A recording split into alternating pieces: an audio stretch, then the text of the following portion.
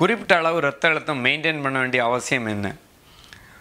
பிளட்டுடைய முக்கியமான வேலை என்ன அப்படின்னா ஆக்சிஜன் குளுக்கோஸ் இந்த மாதிரி உணவுப் பொருள்களை உடம்பு ஃபுல்லாக எடுத்துகிட்டு போகிறது தான் அதோடைய வேலை. ஒரு குறிப்பிட்ட அளவு ரத்த அழுத்தம் இருந்தால் தான் முக்கியமான ஆர்கன்ஸ்க்கு எல்லாத்துக்கும் வந்து பிளட் வந்து ப்ராப்பராக போய் சேரும்.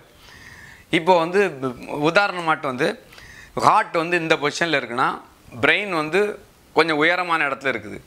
ஸோ இதயத்துலேருந்து மூளைக்கு பிளட்டு போகணும்னா குறிப்பிட்ட அளவு ரத்த அழுத்தம் இருந்தால் தான் அது ப்ராப்பராக அந்த போய் சேரும். இப்போ பார்த்தீங்கன்னா லோ பிபி உள்ளவங்களுக்கு இல்லை வந்து ரோடு ஆக்சிடெண்ட்டில் பாதிக்கப்பட்டவங்களுக்கு பார்த்திங்கன்னா அவங்கள நிமிர்ந்து உட்கார வச்சோம்னா தலை சுத்து மயக்கம் இந்த மாதிரி சிம்டம்ஸ் வந்து வரும். இதுக்கு காரணம் என்ன அப்படின்னா பிபி வந்து டவுன் ஆயிரும். அதனால தான் அவங்களுக்கு வந்து பிபி டவுன் ஆகனால ஹார்ட்லேருந்து ரத்தம் வந்து எகெயின்ஸ்ட் த கிராவிடேஷன் புயிர் பூசைக்கு எதிராக வந்து பிரெயினை வந்து அடைய முடியாது. அதனால தான் அந்த மாதிரி வருது. எப்படி வந்து குறிப்பிட்ட அளவு ரத்தம் ரத்த அழுத்தம் வந்து மெயின்டைன் ஆகுதுன்னு பார்க்கலாம். இப்போ இதை பார்க்கறதுக்கு முன்னாடி வந்து பாயில்ஸ் லா என்ன சொல்லுதுன்னு ஒரு விஷயத்தை தெரிஞ்சுக்கிறது அவசியம். பாயில்ஸ் லா என்ன சொல்லுதுன்னா அடைக்கப்பட்ட கலனில் உள்ள வாயுவின் அழுத்தமானது வாயு மூலக்கூறுகள் வெப்பநிலை மாறாத சூழ்நிலையில் அதன் கன அளவுக்கு எதிர்விதத்தில் உள்ளது. அப்படின்னா என்ன அப்படின்னா ஒரு வெசலில் வந்து குறிப்பிட்ட அளவு வாயு இருக்குது அதோடைய வெப்பநிலை மாறல. இப்போ வந்து கன அளவை குறைச்சிட்டே வந்தோம்னா அந்த வெசலில் வந்து அழுத்தம் வந்து அதிகமாகும். இப்போது ஃபஸ்ட்டு படத்தில் நீங்கள் பாருங்கள் ஃபஸ்ட்டு படத்தில் வந்து ஒரு சிலிண்டர் இருக்குது அதில் உள்ள பிஸ்டனை வந்து நம்ம உள்ள நோக்கி அழுத்துறோம். இப்போ அழுத்தும் போது கன அளவு குறையுது. அப்போ வந்து அழுத்தம் வந்து அதிகமாகுது. ரெண்டாவது படத்தை பார்க்கலாம். ரெண்டாவது படத்தில் என்ன அப்படின்னா கன அளவு மாறாமல் இருக்குது இப்போ வந்து சைடில் உள்ள பைப் வழியோட எக்ஸ்ட்ரா கொஞ்சம் வாயுவை வந்து உள்ளே செலுத்துகிறோம் அப்பவும் வந்து அழுத்தம் அதிகமாகுது. இப்போ நம்ம பிபிக்கு வருவோம். பிபியில் என்ன அப்படின்னா பிஸ்டனை உள்ளே தள்ளும்போது அழுத்தம் அதிகமாகிறது மாதிரி நம்முடைய இதயமும் இரத்த குழாய்களும் சுருங்கும்போது ரத்தம் வந்து அதிகமாகுது.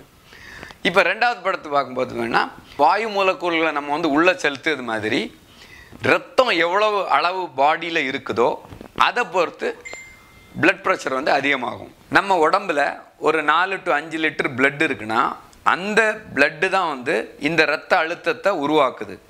அப்போது அந்த இரத்தத்துடைய அளவு வந்து எதை பொறுத்து இருக்குன்னா ரத்தத்தில் என்னென்ன பொருள்கள் இருக்குதோ அதை பொறுத்து தான் இருக்குது ரத்தத்தில் என்னென்னலாம் இருக்குன்னா நீர் அப்புறம் சோடியம் பொட்டாசியம் கால்சியம் இதை மாதிரி தாது உப்புகள் அதுபோக ஆர்பிசி டபிள்யூபிசி பிளேட்லெட்ஸ் பிளாஸ்மா இது மாதிரி இரத்த அணுக்கள். இது தவிர கார்போஹைட்ரேட் ஃபேட்டு கொலஸ்ட்ரால் குளுக்கோஸ் இதை மாதிரி உணவுப் பொருட்கள் இதெல்லாம் இருக்குது இதுடைய அளவு மாறுபடும் போது இரத்த அழுத்தமும் மாறுபடும். பொதுவாக வந்து நமக்கு பிபி அதிகமானால் சொல்லுவாங்க சால்ட்டை கம்மி பண்ணிக்காங்க அப்படின்னு சொல்லுவாங்க. நம்ம என்ன தான் சால்ட்டை கம்மி பண்ணாலும் அதிகம் சாப்பிட்டாலும் நம்ம உடம்புல உள்ள சில ஆர்கன்ஸ் வந்து கரெக்டாக ஃபங்க்ஷன் ஆனால் தான் இந்த சால்ட்டு சோடியம் இது வந்து அப்சர்வ் ஆகும். என்னென்ன ஆர்கன்ஸ் வந்து இதை கண்ட்ரோல் பண்ணுதுன்னு சொல்லி வந்து நம்ம நெக்ஸ்ட் டாப்பிக்கில் பார்க்கலாம். பொதுவாக வந்து பிபி அதிகமானாலோ சுகர் அதிகமானாலோ இல்லை வந்து உடல் பருமனை குறைக்க வந்து நம்ம வந்து வாக்கிங் பண்ண ஆரம்பிக்கிறோம். வாக்கிங் பண்ண ஆரம்பித்த உடனே குதிக்கால் வலி மூட்டி வலி கணுக்கால் வலி இப்படி நிறைய பிரச்சனைகள் வருது. வராமல் இருக்குக்கு என்ன பண்ணலாம்? மூட்டுக்கு முன்னாடி வந்து குவாட்ரிசப்ஸ்னு ஒரு மசிலும் பின்னாடி வந்து ஹாம்ஸ்ட்ரிங்னு இன்னொரு குரூப் ஆஃப் மசில் இருக்குது ரெண்டு மசிலுமே வந்து ஈக்குவல் லெங்க்த்தில் வந்து கண்ட்ராக்ட் ஆகி நம்முடைய பாடி வெயிட்டை வந்து தாங்கிட்டு போகுது வாக்கிங் பண்ணும்போது. இது வந்து ஐசோமெட்ரிக் டைப் ஆஃப் எக்ஸசைஸ் அப்போ இப்போ வந்து இந்த ஐசோமெட்ரிக் ஈக்குவலாக வந்து ஐசோட்டோனிக் டைப் ஆஃப் எக்ஸசைஸ் வந்து நம்ம பண்ணணும். ஐசோட்டோனிக் எக்ஸசைஸ்னால் என்ன? நேராக உட்காந்துட்டு காலை தூக்குறது கமந்து படுத்துட்டு காலை மடக்கிறது இந்த மாதிரி மடக்கும்போது என்னென்னா அதில் வந்து டோன் வந்து மாறாது. பட் வந்து அதோடைய லெங்த் வந்து மாறுது. ஸோ வந்து அது வந்து isotonic type of exercise so ஏன் வந்து ஐசோமெட்ரிக் எக்ஸசைஸ் பண்ணும்போது ஐசோட்டோனிக் வந்து ஈக்குவலாக பண்ணணும்னு சொல்கிறேன்னா இந்த ஐசோடோனிக் எக்ஸசைஸில் என்ன அப்படின்னா மசில் ஃபைபருடைய திக்னஸ் வந்து அதிகமாகுது. ஸோ மசில் ஃபைபருடைய திக்னஸ் அதிகமாகனால மசில் பல்கினஸ் கிடைக்குது. ஸோ மசில் பல்கினஸ் கிடைக்கும்போது அந்த ஜாயிண்ட்டுக்கு வந்து ப்ராப்பர் சப்போர்ட் கிடைக்குது. அந்த ப்ராப்பர் சப்போர்ட் கிடைக்க ஆரம்பித்த பிறகு நம்ம வாக்கிங் பண்ணும்போது அப்போ ஐசோமெட்ரிக் கன்ட்ராக்ஷன் ஆனால் கூட ப்ராப்ளம் கிடையாது. இதில் வந்து மசில் ஸ்ட்ரென்த்தனிங் ஸ்ட்ராங் ஆயிரும். அப்போ வந்து முட்டியில் எந்த ப்ராப்ளமும் வர்றதில்லை. ஆனால் பொதுவாக நம்ம என்னச்சோம் வாக்கிங்னா உடனே ஸ்டார்ட் பண்ணி ஆரம்பிச்சிரும். அது வந்து தவறான ஒரு விஷயம்.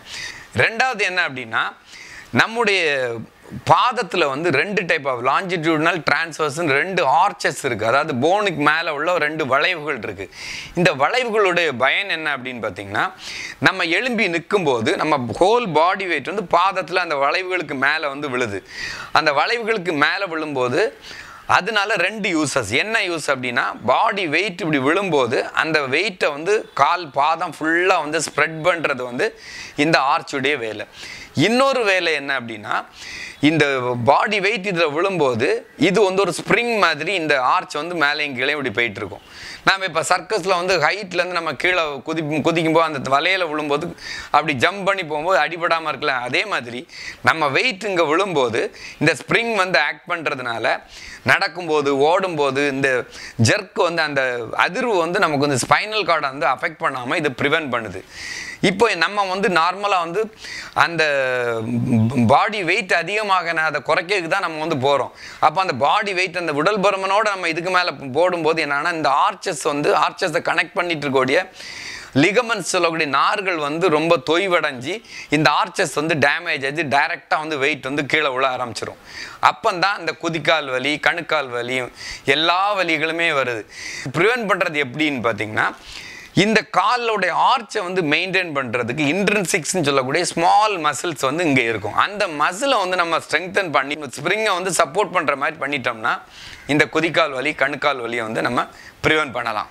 உடற்பயிற்சிகளை வந்து வேகமாக பண்ணணுமா மெதுவாக பண்ணணுமா?